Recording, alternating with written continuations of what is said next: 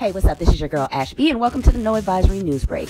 Okay, the death of Nipsey Hussle has not only shaken the LA community, but it has pretty much shaken the entire world.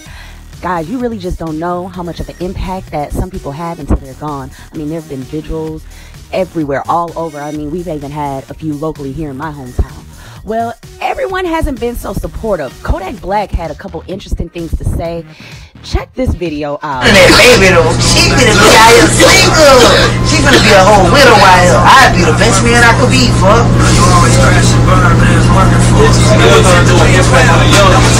I'd give her a whole year. She might need a whole year to be to be crying and shit. To Yeah, too soon, for bro. dude. I ain't trying to shoot at her. I'm saying this. Look, look. No, she could do two, three years, but I just try to be that daddy. I try to be like, if you need a friend to holler or shoulder lean on, I you can call my line. I mean, the ultimate clout chaser. Kodak Black, this was this was a new low for you, bruh. Now, Nipsey Hussle has just passed, and I'm not surprised by Kodak Black doing this, to be honest. But a lot of celebrities were not feeling it, and this is what a few of them had to say about the whole thing. Hey, Kodak Black, you out of pocket, nigga. Fix that shit. Quickly. Expeditiously. Nigga. You out of pocket, nigga.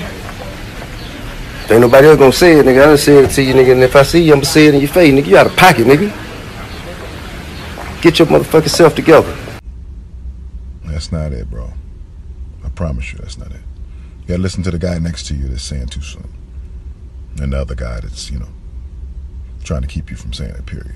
You gotta you gotta get out of that. And you gotta um you know, there are a lot of factors at play here. You know what I'm saying? Um not only just the people that love and respect Nip um, and Lauren, um, you know, you're you're you do business um, with us, with Atlantic Records. That's that's a tough spot to be in, young fella. So I'm gonna just let you know right now. Just get out in front of that man. And if you meant no disrespect, if you meant no harm, you know, it's easier to say that than to play the, you know, play the tough guy. and any other nigga disrespecting my nigga Nip name, his legacy, his family, nigga. Keep my nigga name out your fucking mouth, nigga. Keep his girl's name out your fucking mouth, nigga. The fuck wrong with you new niggas? No respect having ass niggas, man. This new generation, y'all fucked up in the head, nigga. Stop disrespecting my nigga's name, man. This shit for real. My nigga died out here in these fucking streets, nigga. For the doing the right motherfucking thing. Doing good for fucking people. First thing niggas want to do after his untimely demise is disrespect his fucking name? Nah, nigga, I ain't going for that. Keep my niggas. people were upset as they should be. I mean, what he said was totally uncalled for and absolutely too soon. Well, Kodak Black did try to give his version of an apology, if you want to call it that. Lauren London in any shape or form, I'm sorry. Even though I didn't. And peace to dude. Y'all already know what I said. I said dude encourage me to do shit for the community. But anyhow, my bad to them too. Uh, for all you other people like trying to fake act like y'all love boy me on the internet or checking me on the internet, that's how you feel, bro. That's how y'all wanna feel.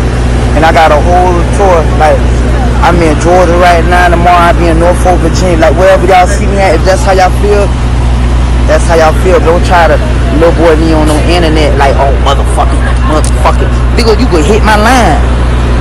Rest in peace to dude. If I disrespected, knowing that in in any way, even though I know I didn't, my bad.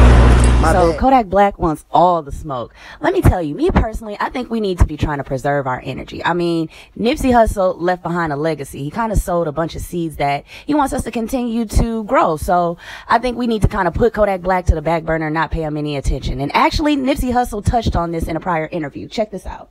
not even react to clown shit. Yeah. You feel me? We shouldn't even. Be, it, it it should. The public should follow the real niggas, and the Yeah. real niggas ain't reacting, so y'all don't react. Exactly. Just, you know, put this shit on. Put the dude on goofy time and just let him sit over here and do what he doing until that shit expire. Cause it always gonna self destruct. Clearly, Mhm. you know what I mean. So And here we are. Yeah. Power 106 FM in LA have vowed to not support any of Kodak Black's music. Justin Credible said in a tweet, We stand with the family of Nipsey Hussle and are appalled by the disrespectful and poor comments made by Kodak Black. With that, Power 106 will not support Kodak Black's music. Hashtag long live Nip. I'm standing with that. Hashtag mute Kodak Black. I mean, at this point, he said so much over time that we should have been muted him. Let's not forget about those comments he had to say about dark skinned women. We haven't forgot about that either. Well, long live Nip. His music will live on. Stream his music. He owns 100% of his master, so all that money will go to him. Pray for his family. Lauren London, we're here for you, girl. RIP Nip. Make sure y'all like and comment. Also, subscribe to our YouTube channel. And thank you guys for watching. Peace.